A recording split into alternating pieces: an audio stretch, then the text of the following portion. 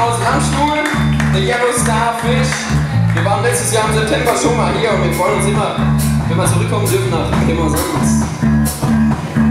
In diesem Sinne, wir machen heute noch etwas Krach für euch.